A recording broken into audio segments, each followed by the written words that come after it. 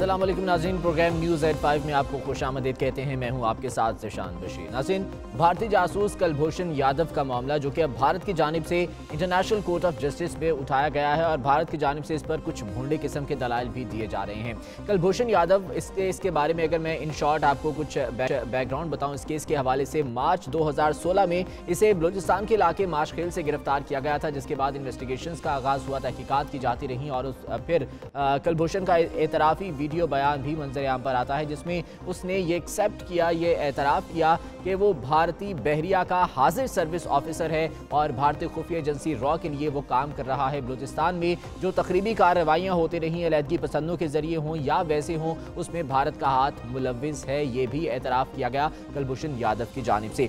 Video के फौरी बाद भारत का जो इस पर रद्द अमल आता है, उसमें इस शख्स से कलभूषण यादव से लाताल्लुकी का इजहार किया जाता है। लेकिन बाद सुषमा स्वराज ने ने लोकसभा में खिताब किया और इसी कलभूषण को भारत का बेटा भी करार दिया गया। और ये कहा गया कि कलभूषण को बचाने के लिए हर सतह पर जाएँगे। पाकिस्तान आर्मी एक्ट के सेक्शन उनसठ और ऑफिशियल सीक्रेट एक्ट के सेक्शन तीन के तहत कलभूषण को सजाए मौत सुनाई गई फौजी अदालत की जानब से। अब सवाल यहाँ पर यह उठता है कि बहुत से प्लेटफॉर्म अभी पाकिस्तान में मौजूद थे। इस सजा के खिलाफ अपील करने के लिए सुप्रीम कोर्ट में अपील की जा सकती थी। यहाँ पर सदर मुमलिकत के पास अपील जा सकती थी। लेकिन भारत ने इंटरनेशनल कोर्ट ऑफ़ जस्टिस का रुख किया है। क्या ये सिर्फ़ फेस सेविंग के लिए है। क्या उजलत का मुजाहरा किया गया है भारत की जानब से? बहुत से सवाल भारत के इस इकदाम पर जो है, वो खड़े हो रहे हैं। इसी बारे में हम मजीद बात करेंगे। हमारे साथ प्रोग्राम में मौजूद हैं सीनियर तर्ज ज़फ़र हिलाली साहब, उनसे इस बारे में बात करेंगे। डॉक्टर खालिद रांझा साहब भी हमारे साथ मौजूद हैं। माहिर कानून आइनी अमूर हैं, उनसे भी इस हवाले से बात करेंगे।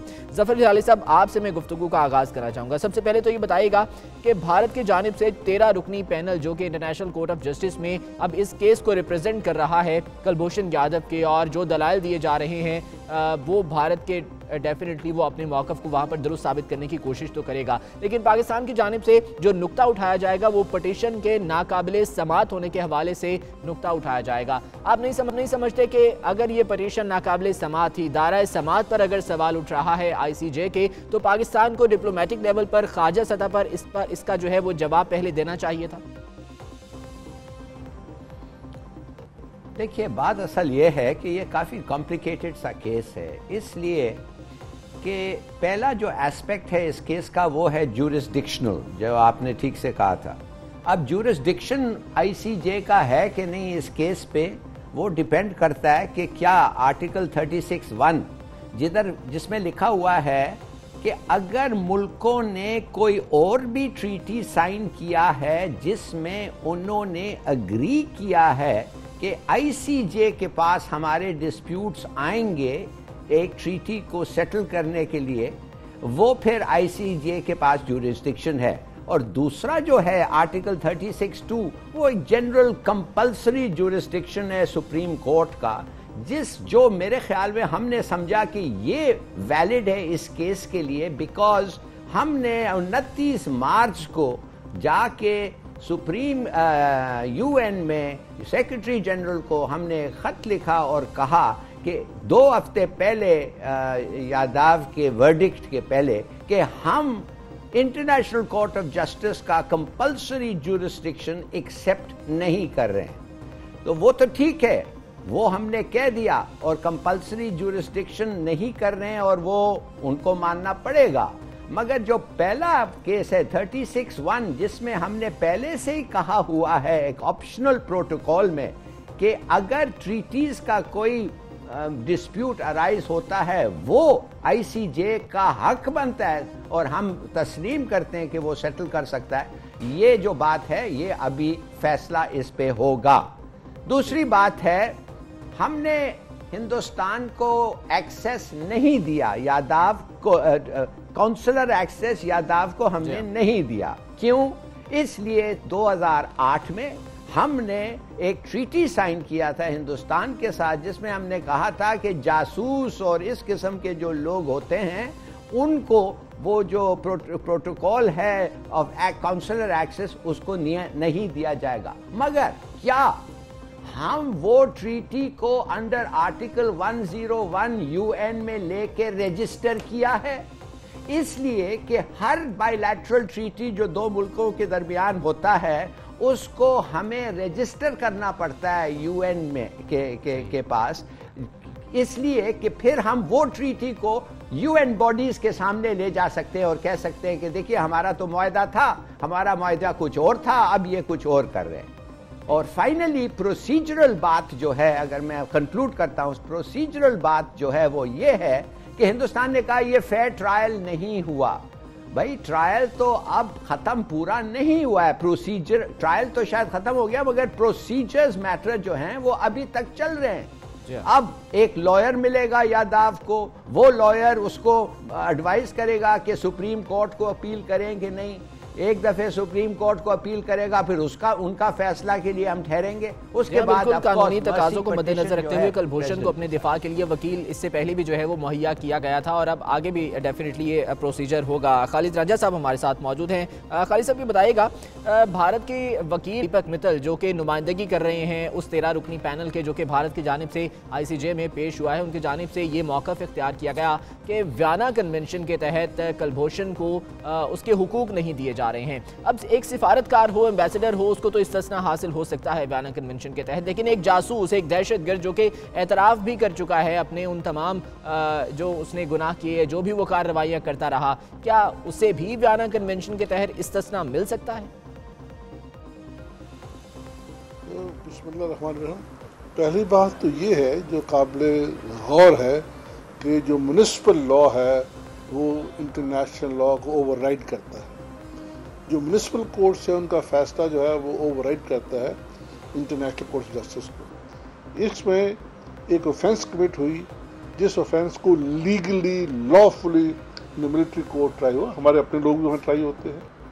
हमारा जो कानून है, वो चाहता है कि आप कोई ऑफेंस करें, जिसके रेप्रिकॉशन फौज पे हो, वो उसकी ट्रायल बाय मिलिट्री कोर्ट होती है। और मिलिट्री कोर्ट की ट्रायल जो है, उसके खिलाफ अपील जो है, वो सुप्रीम कोर्ट लाई करती है। लेकिन इसमें बात काबिल ज़िक्र ये है कि जो हमारे लोकल लॉज हैं लोकल अदालतें हैं, उसको international court of justice bypass नहीं कर सकती। और until unless you settle side या आपका कोई ऐसा इंटरनेशनल एग्रीमेंट हो कि जी हाँ हमारी जो म्यूनसिपल कोर्ट है, उसका फैसला लाई करेगा बिफोर द आई आईसीजे वो अलहदा बात है।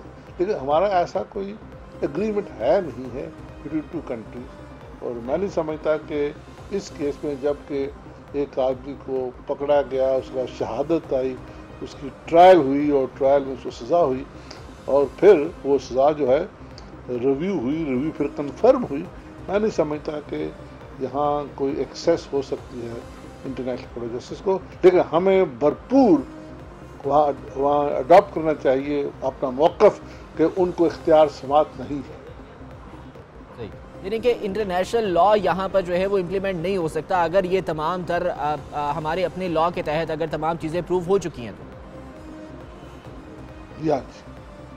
ठीक हो गया। पर्सनल म्यूनिसिपल लॉ जिसे कहते हैं that overrides international law and international conventions ठीक हो गया। हिलारी साहब, ये ये फरमाइएगा कि पाकिस्तान की फौजी अदालत ने कलभूषण को सजाए मौत सुनाई। उसके बाद अब अपील के लिए दीगर फोरम्स भी तो मौजूद थे, जिस तरह से आपने पहले भी कहा कि एक प्रोसीजर के तहत जो है दिफा के लिए वकील भी मुहैया किया गया था और अब डेफिनेटली आगे भी जो है अगर अपील होती है तो मुहैया किया जाएगा। सुप्रीम कोर्ट में अपील के लिए जा सकते थे, सदर ममलिकत के पास जो है वो अपील हो सकती थी। क्या भारत की जानब से ये उजलत में एक इकदाम उठाया गया है या कि फेस सेविंग के लिए भारत जो है इंटरनेशनल कोर्ट ऑफ़ जस्टिस चला गया। देखिए मेरे ख्याल में उनके लॉयर्स जो हैं इस केस को उन्होंने गौर से स्टडी किया। ज़ाहिर है वो चाहते ये हैं कि जितना एम्बेरस करे पाकिस्तान को वो करें। और अगर उनका जैसे वो कहते हैं हमारा बेटा और वाकई उनका सर्विंग ऑफिसर था आ, उसको बचाना तो है इनको। तो मैं ये समझता हूँ कि ये ये जो 36.1 और 36.2 का मामला है, उनको एक्सपर्ट लीगल ओपिनियन उनका ये कह रहा है कि इसमें शायद कोर्ट को जूरिस्टिक्शन मिल सकता है। अब राजा साहब ने जो कहा है, वो भी ठीक है, एक लिहाज से कि म्यूनसिपल लॉ जो है इंटरनेशनल लॉ को ओवरराइड करता है, मगर म्यूनसिपल लॉ या बाइलैटरल ट्रीटी यूएन में करने के लिए it must be registered in the UN उस ट्रीटी को रजिस्टर करना बहुत ज़रूरी है। नहीं तो वो ट्रीटी को आप अगर ले जाके कोई इंटरनेशनल बॉडी के सामने प्लीट करें तो यूएन कहता है कि that is not according to their procedure तो दूसरी बात है, बड़ा इंटरेस्टिंग है कि क्या इसका मतलब ये है कि एक दिन आप आके कह दें दूसरे मुल्क को कि हम ये ये ये ये आपके साथ फैसला एग्रीमेंट कर रहे हैं। और दूसरे दिन आप पार्लियामेंट में जाके एक लॉ उसके खिलाफ माने उस एग्रीमेंट के खिलाफ पास करके, इसका मतलब ये है कि वो जो इंटरनेशनल एग्रीमेंट हुआ है, वो रद्द हो गया है और ये नया लॉ जो जो म्यूनसिपल लॉ है, वो हर वक्त होगा। मेरे ख्याल में ये भी इतना आसान नहीं है कहना कि वाकई ये ऐसा ऐसा सिस्टम है। मैं समझता हूँ कि ये भी लीगल ओपिनियन इस पर शायद डिवाइडेड है। हिलाली साहब, मैं, आप, आपकी यही बात जो है वो राजा साहब के सामने रखना चाहूँगा। खाली साहब, ये बताइएगा, जिस तरह से अभी हिलाली साहब ये कह रहे थे कि एक माहा अगर होता है, एक इंटरनेशनल एग्रीमेंट अगर होता है तो उसको यूएन में रजिस्टर करवाना लाजमी है। अगर वो वहाँ पर रजिस्टर नहीं होता तो फिर इंटरनेशनल लॉ खुद को देखता है। आप ये फरमाइएगा कि अगर ये रजिस्टर नहीं है 2008 में जिस तरह से माहा हुआ, हिलाली साहब ने अभी बताया और रजिस्टर नहीं हो सका तो इंटरनेशनल लॉ फिर कहाँ पर इम्प्लीमेंट होता है? क्या कहता है इस सिलसिले में? जो रजिस्ट्रेशन है that is sine qua non of implementation अगर जो इसको जैसे ट्रीटी जो है उसकी फॉर्मेट दुरुस्त ना हो लेकिन uh, जहाँ ट्रीटी होती है ताबे recognition by your own parliament तो पार्लियामान जब तक रिकग्नाइज नहीं करती उस वक्त तक ट्रीटी नहीं होती। इसी तरीके से जब लॉ uh, जो है uh, वो जो अग्रीमेंट है उसको रजिस्टर ही किया गया तो it will not be binding और इम्प्लीमेंटेबल सही। ठीक हो गया। शहजाद चौधरी साहब हमारे साथ मौजूद हैं। दिफाकार है मैं उन्हें भी शामिल गुफ्तु करना चाहूँगा। शहजाद साहब, बहुत शुक्रिया आपके वक्त ये बताइएगा कि भारत की जानब से इंटरनेशनल कोर्ट ऑफ़ जस्टिस में अभी कुलभूषण का मामला उठाया गया है। पाकिस्तान का पाँच रुकनी पैनल रिप्रेजेंट कर रहा है यहाँ पर और जो नुकता उठाया जाएगा अपने दलाल में पाकिस्तान की जानब से, वो इसके नाकबिल समात होने का उठाया जाएगा। सबसे पहले तो आपका मौकफ इस पर लेना चाहूँगा और जो भारत की जानब से दलाल दिए गए कि व्याना कन्वेंशन क्या एक जासूस को, एक दहशत गर्द को व्याना कन्वेंशन के तहत इम्यूनिटी इम्यूनिटी मिल सकती है? देखिए मैं तो बेसिकली इस अप्रोच के आ, मैं इतना लीगल लीगली तो इतना वेल वर्स नहीं हूँ लेकिन लीगली आई थिंक जो अप्रोच लेनी चाहिए थी वो वियना वर्सेस जेनेवा कन्वेंशन लेनी चाहिए मेरा ख्याल है कि अगर हम जेनेवा को यहाँ पे इन्वोक करें जेनेवा कन्वेंशन को उसके अंदर पाकिस्तान को एक ऐसी रीजन मिल जाती है कि एक कम्बेटेंट जो कि पाकिस्तान के अंदर दहशत गर्दी कर रहा था, जो पाकिस्तान की रियासत के खिलाफ सेबोटाज में मसरूफ था और खुद उसका अपना इसके ऊपर कन्फेशन है और पाकिस्तान की ज़मीन से पकड़ा गया। तो इसका मतलब है कि वो पाकिस्तान के खिलाफ जंग कर रहा था। तो उसका स्टेटस वही होगा जो कि जंग के अंदर किसी जासूस का होता है। या अगर वो अपने आप को यूनिफॉर्म में रखा होता तो प्रिजनर ऑफ़ वॉर का होता। और prisoner of war Geneva convention के नीचे और स्पाइस उसके प्रोटोकॉल के नीचे एडिशनल प्रोटोकॉल के नीचे उसको कंडक्ट किया जाता है। बहरहाल अगर हम उस रस्ते को अपनाते तो शायद पाकिस्तान का जो स्टांस है वो और स्ट्रांगली शायद उभर के सामने आता ये जो वियना कन्वेंशन है ये तो डिप्लोमेटिक रिलेशन या डिप्लोमेटिक जो जो एक्टिविटीज़ हैं दो मुल्कों के दरमियान में उनको गवर्न करता है। तो ये तो कोई ना इसके पास डिप्लोमेटिक पासपोर्ट था ना ये डिप्लोमेसी के अंदर इन्वॉल्व था। ये शख्स तो एक इंडियन एक नाम बदल के जासूस की शक्ल में यहाँ पे पाया गया यहाँ मौजूद हुआ। तो मेरा ख्याल है कि शायद वो रास्ता ज़्यादा बेहतर था लेकिन लेट्स सी हमारी लीगल टीम किस तरीके से इसको लेके आगे साहब यहाँ पर एक सवाल ये भी उठता है कि जिस तरह से एतराफ़ी बयान में कलभूषण की जानब से ये बताया गया ये एतराफ़ किया गया कि जो तकरीबी कार्रवाइयाँ चाहे बलोचिस्तान में वलहदगी पसंदों के ज़रिए हों या वैसे हों, उसमें भारत का हाथ मुलविस है, भारत उसके पीछे है। पाकिस्तान की जानब से बारहा ये कहा गया कि शवाहद मौजूद हैं कि बलोचिस्तान में भारत तकरीबी कार्रवाइयाँ करवाता रहा है और करवा रहा है। आप नहीं समझते कि ये मामला भी पाकिस्तान को अब इंटरनेशनल कोर्ट ऑफ़ जस्टिस में टेकअप करना चाहिए? देखिए हम इसको एक्सटेंड कर सकते हैं। वो कि ये उसकी रिमिट में तो शायद नहीं आएगा क्योंकि पाकिस्तान ये पिटिशन लेके नहीं गया। आप एडिट उसके अंदर अपना आर्ग्यूमेंट दे सकते हैं कि पाकिस्तान जिस जंग में मुलविस है वो जंग उन जो जो कन्वेंशनल फॉर्मेट्स हैं उसके तहत नहीं हो रही। दो स्टेट्स ने डिक्लेयर नहीं किया वॉर को। लेकिन एक ग्रुप है जिसने कि पाकिस्तान के खिलाफ जंग का इरादा किया हुआ है। वो तरीके तालिबान पाकिस्तान है या वो टेरर के बाकी ग्रुप्स हैं। और उसके अंदर इस आदमी का हाथ मतलब था जिसने के डिक्लेयर किया है पाकिस्तान की रियासत के खिलाफ अपने मिशन को अपने ऑब्जेक्टिव्स को। तकरीबन छह बजे के करीब जो है वो पाकिस्तान की जानब से दलाइल शुरू किए जाएँगे। इंटरनेशनल कोर्ट ऑफ़ जस्टिस में ये मामला जो कि भारत की जानब से ले जाया गया है। गुफ्तु का हम यहीं से आगे बढ़ाएँगे। मुझे यहाँ पर एक ब्रेक लेना है। ब्रेक के बाद वापस आते हैं तो आगे बढ़ें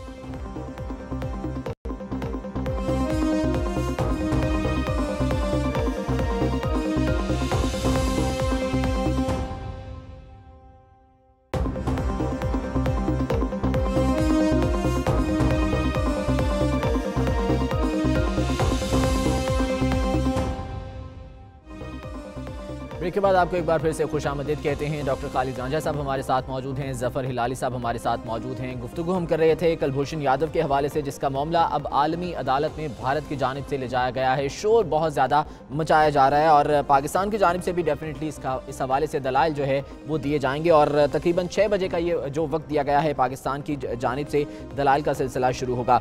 खालिद रांझा साहब, आपसे मैं गुफ्तु एक बार फिर से शुरू करूँगा। ये बताइएगा कि अब इस केस के दो रुख हैं।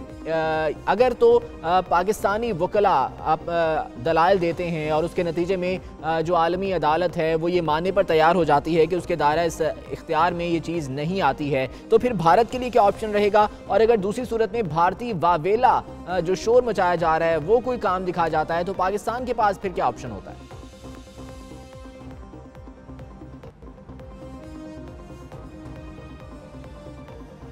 खालिद रांझा साहब सुन नहीं पा रहे हैं। हिलाली साहब यही सवाल मैं आपके सामने रखूँगा। ये दो रुख अब जो है वो सामने आए हैं। अगर भारतीय बाबेला काम कर जाता है, अगर पाकिस्तानी दलाल जो है उसके नतीजे में आलमी अदालत ये मान लेती है कि उसके दायरे समात में ये चीज़ नहीं आती है तो फिर ऑप्शन क्या होंगे सर देखिए, पहले तो वो कहेंगे पाकिस्तान को, मिसाल के तौर पे अगर उन्होंने एक्सेप्ट किया कि हाँ वो इस केस पे फैसला कर सकते हैं तो वो कहेंगे कि फैसला नहीं, वो कहेंगे हाँ हम इसको एंटरटेन कर सकते हैं। अब क्या? अगर वो एंटरटेन कर सकते हैं और उनको काउंसलर एक्सेस नहीं मिला तो पाकिस्तान फ़ौरन कहेगा कि ये तो बायोलैटरल ट्रीटी ट्रीटी के तहत। पहले तो दे आर नॉट हम जंग में नहीं है। ये एक इंडियन सिटीजन को हमने पकड़ा है, हम कहते हैं उनका जासूस है, उसने खुद कहा है वो जासूस है। मगर इसको वो एक्सेस चाहते हैं तो 200 2008 का बायोलैटरल ट्रीटी के तहत उनको एक्सेस नहीं मिल सकता। ठीक है, अगर रजिस्टर्ड हुआ या नो डजेंट मैटर हमने अग्री किया है कि एक्सेस उनको नहीं मिलता है तो ये क्या शोर कर रहे हैं ये?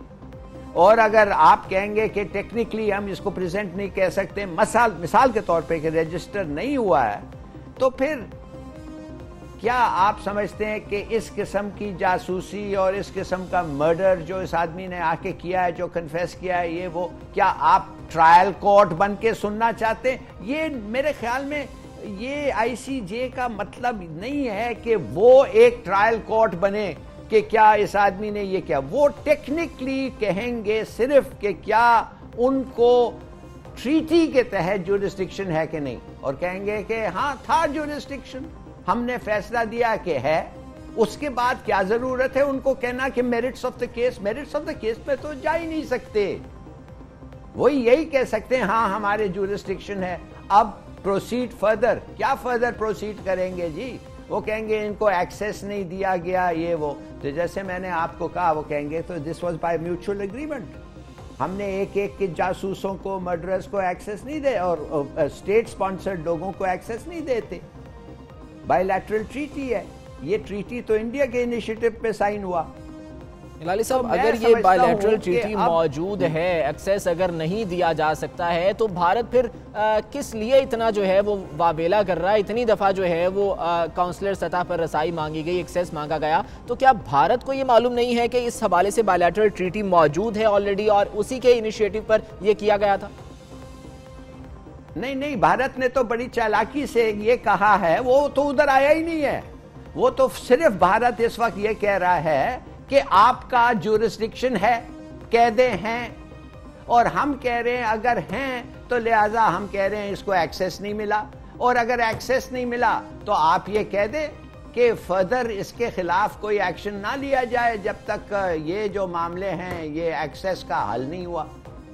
अगर हम कह दें, मिसाल के तौर पे हम कह दें एक्सेस मान लिया एक्सेस दे दी, दे दिया। उससे क्या होगा भाई? एक्सेस से एक्सेस मिल गया, वो आएँगे, उसको मिलेंगे, वो बात करेंगे। और क्या होगा? ठीक हो गया। मैं तो खालिद रांझा साहब आप आपसे यही सवाल जो आपके सामने भी रखना चाहूँगा पाकिस्तान के पास क्या ऑप्शंस होते हैं? या भारत के पास फिर जो है वो क्या ऑप्शंस बचते हैं? इन केस अगर कोई भी जिस तरह से अभी हिलाली साहब ये कह रहे थे कि ट्रायल कोर्ट तो बिल्कुल नहीं बने बनेगी आलमी अदालत इंसाफ तो फिर क्या इस आगे पेशरफ होती क्या देख रहे हैं आप? जहाँ तक आर्मी कोर्ट्स का तल्लक है वो हैं कोर्ट्स विद सनसेट क्लॉज के इनके ड्यूरेशन के लिए ये मुकम्मल अदालत है और एक स्पेशल कोर्ट है। और उसको आइनी तहफ़ है। और ये जो अदालत ने फैसला किया है, ये सिर्फ़ क्वेश्चन सुप्रीम कोर्ट भी नहीं आ कर सकती।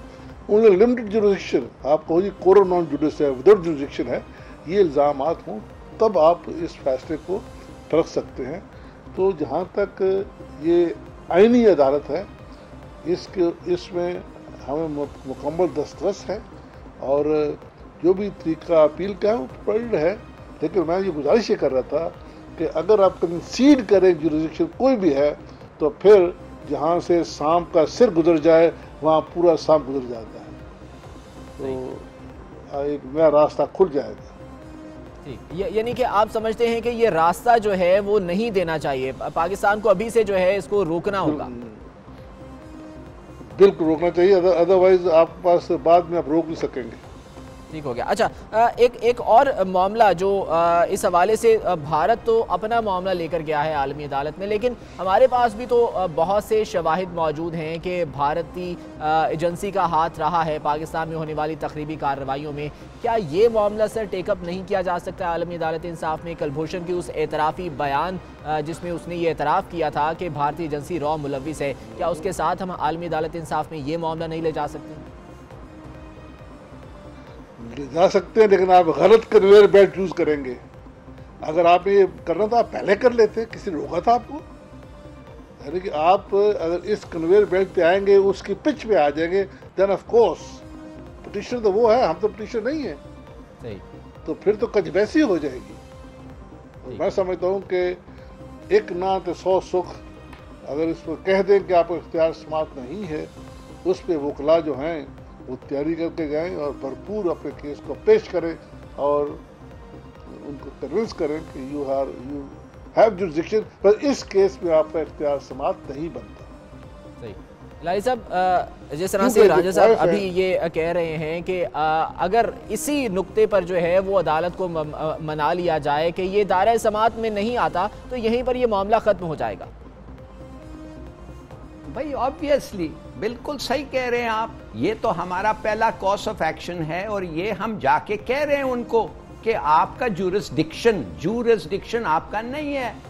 मैं कह रहा हूँ, अगर कोर्ट ने कहा नहीं अंडर 36 वन ऑप्शनल प्रोटोकॉल आपने एग्री किया है कि अगर डिस्प्यूट हो इसके बारे में, आप कोर्ट को आ सकते हैं। लिहाजा हमारा जुरिस्डिक्शन है। तो मैं कह रहा हूँ, उसको एक्सेप्ट करना पड़ेगा ना। आप तो जाके उनके अल्फाज तो नहीं बदल सकते। तो फिर उसके बाद आपको कहना what is the next step next step अगर कोर्ट कहे कि आप इनको एक्सेस दे। अब आपकी मर्ज़ी, आप देंगे या नहीं देंगे, आप लड़ेंगे, कुरेंगे, कुछ नहीं। मगर लेट अस सपोज़ कि आप कह रहे ठीक भाई एक्सेस भाई, उसका मतलब तो और कुछ नहीं हुआ ना। उसका तो फेट तो नहीं चेंज होगा। जजमेंट तो नहीं चेंज होगी। ट्रायल का रिवर्स तो नहीं होगा। वो आदमी कन्विक्ट हुआ है, जैसे कह रहे हैं बाय लीगल कोर्ट उसके अभी तक प्रोसीजरल हक हैं। इट विल प्रोसीड एक छोटे मामले में रिगार्डिंग एक्सेस उसको मिल जाएगा। एम्बेरसमेंट ज़रूर होगा।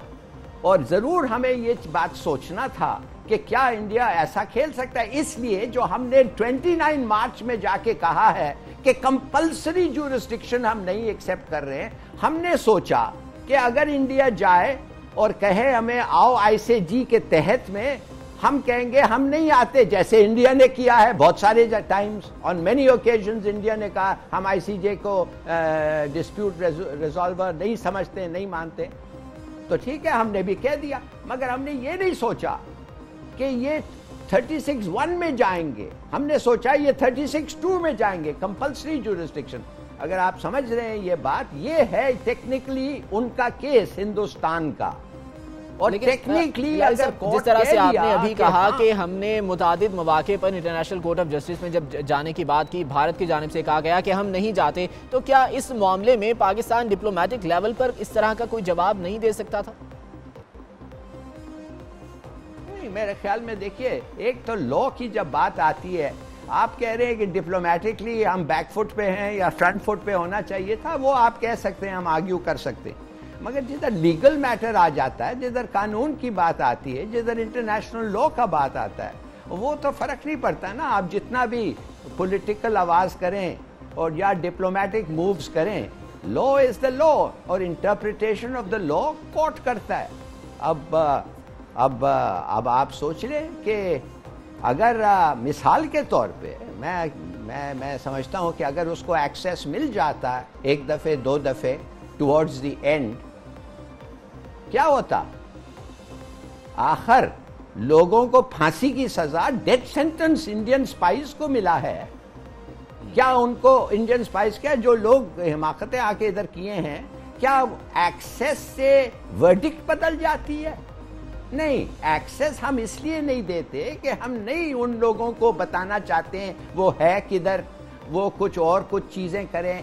ऐसे चीज़ ऐसी हरकत करें जो हमारा इन्वेस्टिगेशन प्रोसेस फ्रस्ट्रेट हो जाए या उसको बचाने की कोशिश की लॉट्स ऑफ़ रीजंस सही।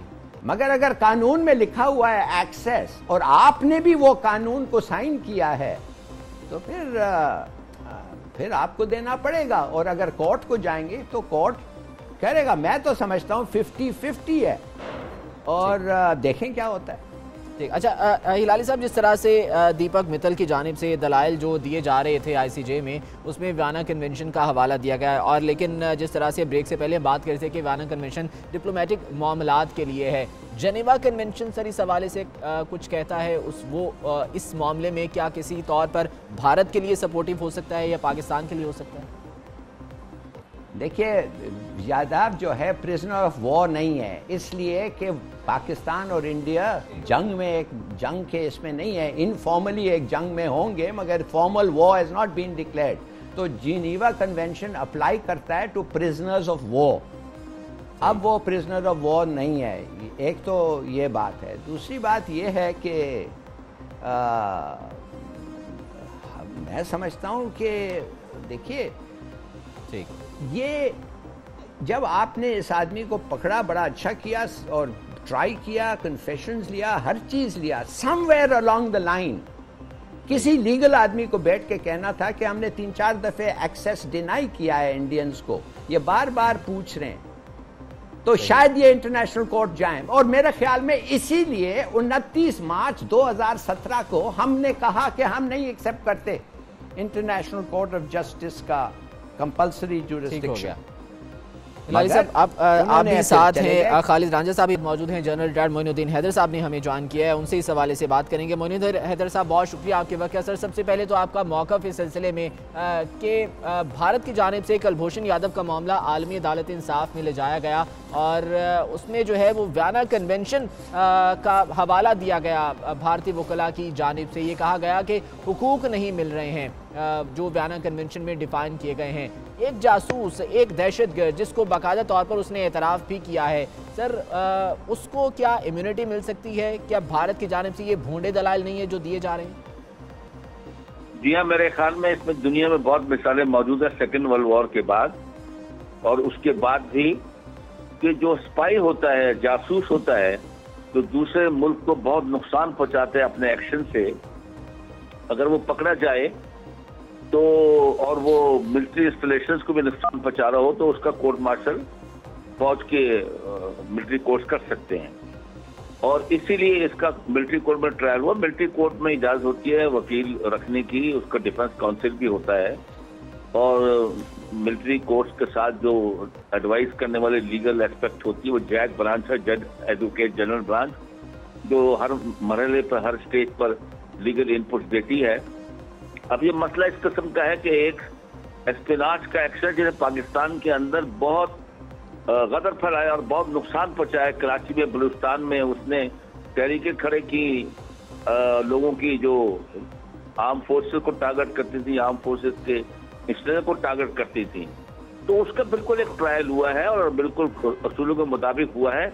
हमारे लिहाज से जो हम पहले कह रहे थे, इसकी जुरिस्टिक्शन नहीं बनती। लेकिन भारत को चूँकि और कोई रास्ता नज़र नहीं आता इसको बचाने का, पहले तो वो चुप था, खामोश था, बोलते नहीं था कि हमारा आदमी है। अब कम अज कम बोला है कि हमारा आदमी है, फिर कौशल एक्सेस मांगी है। तो हमारी नज़र में तो एक्सेस नहीं बनती, लेकिन चला गया वहाँ, हम भी वहाँ पर चलाए अगर हुआ ऐसी बात तो दे देंगे, बता देंगे। लेकिन मेरे ख्याल से इसमें पाकिस्तान का केस बहुत मज़बूत है, और हमें किसी किस्म का अननेसरी प्रेशर नहीं लेना चाहिए। मोइनुद्दीन साहब, आपको लगता है कि भारत सिर्फ़ फेस सेविंग के लिए इस तरह के हथकंडे इस्तेमाल कर रहा है? नहीं, वो फेस सेविंग तो नहीं, वो तो कोशिश कर रहा होगा। वो तो कोशिश कर रहा होगा उनके लिए तो वो हीरो है ना, जिसने पाकिस्तान को नुकसान पहुँचाया, दुख पहुँचाया। उनके लिए तो हीरो उसको बचाना चाहेंगे ताकि बाकी उनके एजेंट्स जो है वो ये ना कहें कि भाई आप हमारी जान खतरे में डाल के खुद अलग हो जाते हैं। तो फेस सेविंग नहीं है, ये उनकी एक जेन्यून कोशिश हो सकती है उसको बचाने के लिए। लेकिन इसमें ये भी है कि एक चीज़ जो यहाँ पर हम दुनिया में कह रहे थे या थोड़ा बहुत प्रेस में आ रही थी अब इंटरनेशनल कोर्ट ऑफ़ जस्टिस में जाने से और दुनिया में फैलेगी हिंदुस्तान की एक्टिविटीज़ की दास्तान के वो क्या कर रहे हैं अपने ममालिक उनके पड़ोसियों, खसूस पाकिस्तान के साथ? सही। अच्छा खालिद राजा साहब मेरे पास वक्त कम है। लास्ट कमेंट आपका कि अगर जो है वो कौंसलर सतह की रसाई के हवाले से भारत ने पहले भी वावेला किया डेफिनेटली आईसीजे में भी जो है वो इसी हवाले से बात की जाएगी। आ, हम रसाई नहीं देते पाकिस्तान रसाई नहीं देता। उसके बाद अगर ये बायोलेट्रल ट्रीटी मौजूद है जिस तरह से पहले भी हम बात कर रहे थे 2008 में जो है वो साइन हुई थी बेशक इसको यूएन में रजिस्टर नहीं किया गया। पाकिस्तान नहीं देता रसाई तो फिर भारत के लिए क्या ऑप्शन रह जाता है? है, अगर भारत हम रसाई ना दें तो फिर वो तो अदालत जो है, वो उनके साथ हो जाएगी फिर तो। मैं समझता हूँ कि हमें इस बात तक will cross the bridge when we come to it हम क्यों अस्यूम कर रहे हैं कि अदालत उन्हें इख्तियार देगी ऑफ़ एक्सेस टू द हमें इस बात तक आने will cross the bridge when you come to it जब ये मसला आएगा ज़रूर इस पर आए बात कीजिएगा। अभी इस पर बात नहीं करनी चाहिए और हमें ये कहना चाहिए कि the court has no jurisdiction सही, ठीक। हिलाली साहब आपका लास्ट लास्ट कमेंट इस हवाले से कि पाकिस्तान को जो है वो सिर्फ़ जिस तरह से खालिद रांझा साहब कह रहे हैं कि ब्रिज हमें क्रॉस नहीं करना चाहिए, इसी पर रहना चाहिए कि नुकता ये दायरा समात में है या नहीं है। देखिए, कोई वजह नहीं है उसको एक्सेस अगर कोर्ट ने कहा दो तो कोई वजह नहीं है उसको दो ब्रीफ एक्सेस उसको दें। मगर हमें हर वक्त गार्ड ये करना चाहिए कि इंडिया डेस्परेट है, कोई डेस्परेट एक्शन भी ले सकता है। हर किस्म का सेफ़ गार्ड हमें लेना चाहिए। मगर अगर अदालत ने कहा कि हाँ जो है और अदालत ने कहा हाँ हम ये एक्सेस के बारे में, हम अपनी जजमेंट प्रोनाउंस करेंगे। और जजमेंट ये है कि उसको मिलना चाहिए। आई थिंक हमारा कोई और ऑप्शन नहीं है। We should accept the judgement सही, ठीक। बहुत शुक्रिया ज़फ़र हिलाली साहब हमारे साथ डॉक्टर खालिद रांझा साहब आपका बहुत शुक्रिया, जनरल रिटायर्ड मोइनुद्दीन हैदर साहब हमारे साथ मौजूद है आपका बहुत शुक्रिया। तो आईसीजे में अब ये मामला अगर भारत की जानब से टेकअप किया गया है, लेकिन पाकिस्तान का मौकफ यहाँ पर मज़बूत है। दायरा समात में आईसीजे के ये चीज़ आती है या नहीं आती है, इस हवाले से पाकिस्तानी वकला की जानब से दलाल दिए जाएँगे। अब से कुछ ही देर में छः बजे का वक्त गालिबन जो है वो दिया गया था। पाँच रुकनी पैनल जो कि पाकिस्तान की नुमाइंदगी कर रहा है, वो इस हवाले से दलाल देगा। देखना यह है कि पाकिस्तान के इस हवाले से स्ट्रांस क्या होता है, और डेफिनेटली भारत को यहाँ पर भी मुँह की खाना पड़ेगी। आज के प्रोग्राम से इतना ही। आपके फीडबैक का इंतज़ार रहेगा इजाज़त दीजिए। अल्लाह